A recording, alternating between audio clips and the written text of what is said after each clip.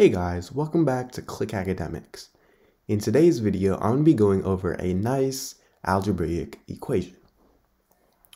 So right here, we have our equation, x to the power of 6 equals x minus 1 to the power of 6. And if you notice, you can see that both sides of the equation are to the power of 6.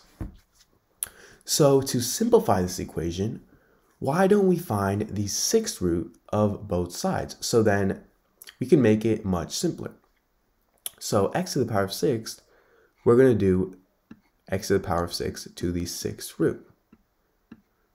And this is going to equal the sixth root of x minus 1 to the power of 6.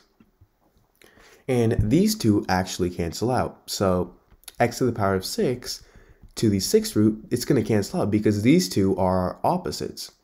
So remember, opposites cancel out. So this is simply going to result in x equals, these two are going to cancel out as well. So we're just left with plus or minus, remember, we got the plus or minus x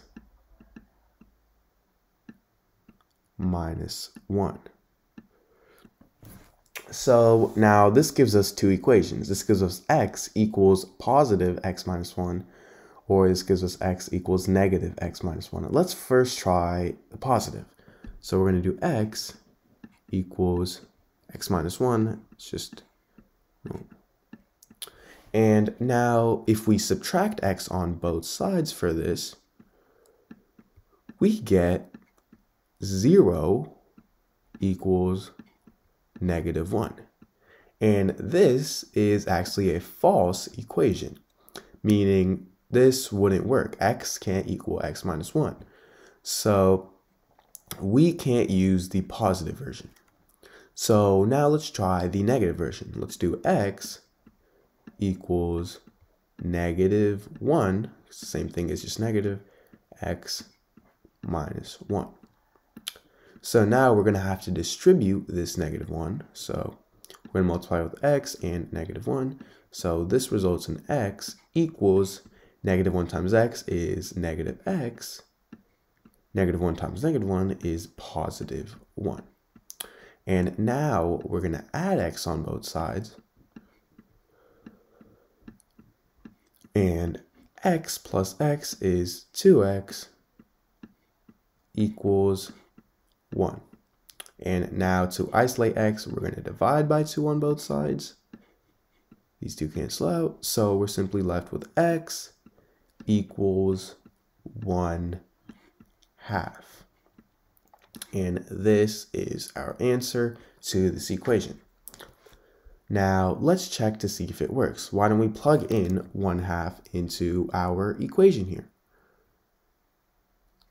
So this is going to be 1 half to the power of 6 equals 1 half minus 1 to the power of 6. Well, 1 half to the power of 6, that's going to be 1 over 64. And this equals, well, 1 half minus 1 is simply negative 1 half.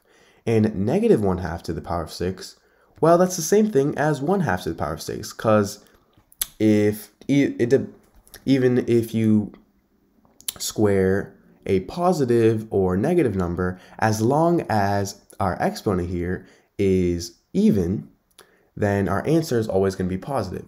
And since our exponent here is even, then our answer here is going to be positive. So negative 1 half to the power of 6 is also 1 over 64. So this is right, meaning x does equal 1 half. So this is our answer to this equation.